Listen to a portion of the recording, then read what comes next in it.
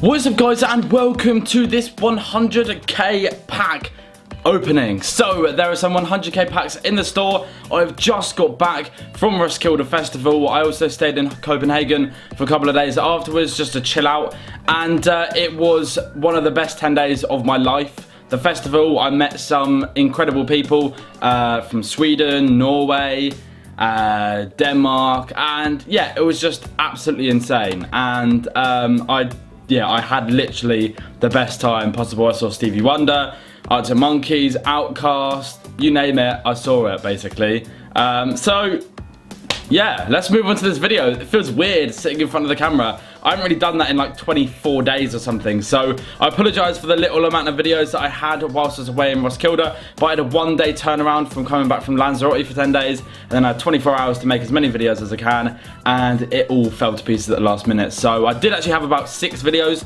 but I could only upload three, which is fucking frustrating. But anyway, here we go. Let's move on to some of these 100k packs then. If you guys are looking to purchase any FIFA 14 coins, check out the FIFA shop.co.uk. They're very fast and reliable source to buy coins from. All their links will be down in the description below and you can get an extra 5% off using the discount code JACK54HD. So, we've got two 100,000 coin packs to open. Can we get anything decent? Then possibly will be another video later as well, like a kind of Q&A thing. But tomorrow will be when the first 7-minute squad builder, the return of it, will be back. So, who are we going to get in this first pack then? Tevez. Fucking shit that was. That is absolutely awful. Where's my informs? Where's my man on the match card? Where's my 90 closer? Oh, mate, that's bad. Tevez wasn't even at the World Cup as well. That's actually quite annoying.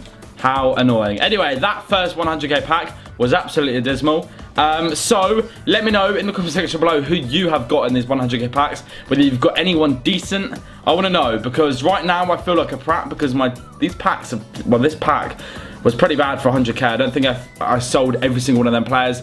I would get 100k back. So, yeah, let's hope we get something better in this. Come on, give me something good.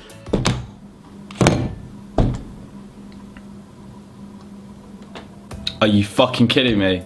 Are you actually kidding me? Muller. Muller. Yes, he's been playing absolutely amazing.